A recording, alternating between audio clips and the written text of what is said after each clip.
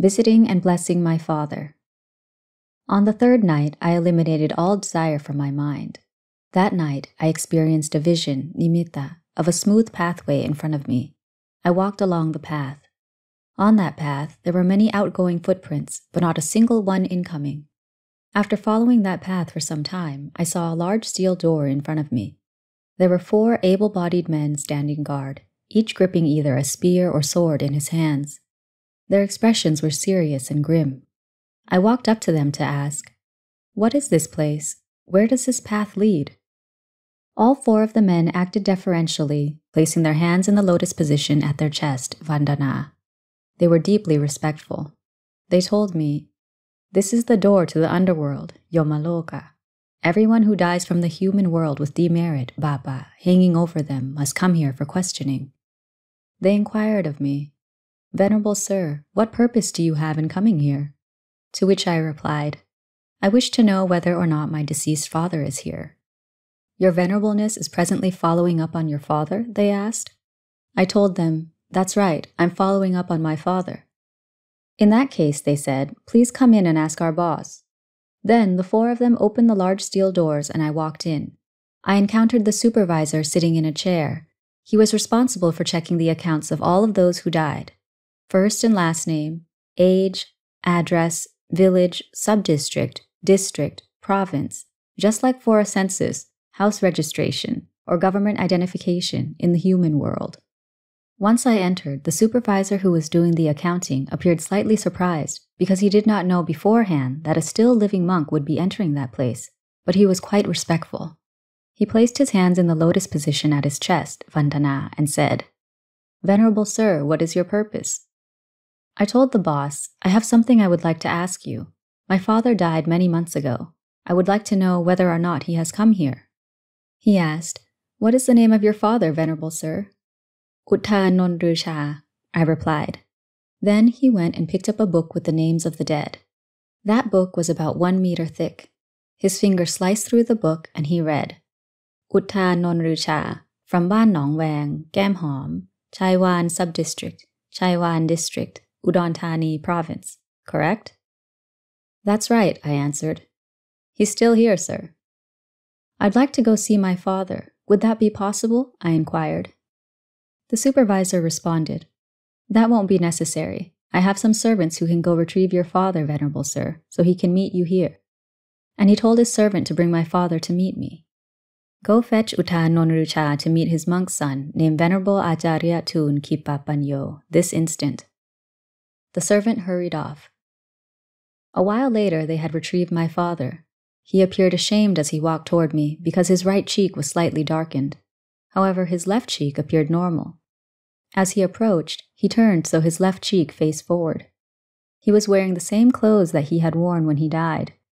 Only after he had received the merit dedicated to him by his family would his clothing change. Once near, he sat down and prostrated in a normal manner. Then I asked my father, Do you remember me? He said, I do. I asked, Since you've been here, have they hit you? He replied, Before they used to hit me, but now they don't anymore. I asked, While you're here, do you still do chanting and mental cultivation, bhavana?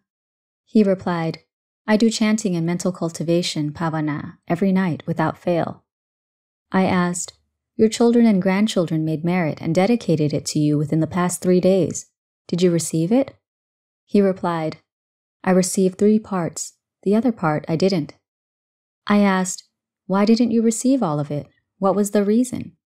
He replied, Because the monks who received the offerings had tarnished morality, sila. I asked, The kamma that you must pay for now, is there much of it? He replied, There isn't much. The smaller karmic debts have already been repaid. All that remains is the group karma from killing an ox. Then I went to consult the Lord of Death, Yama.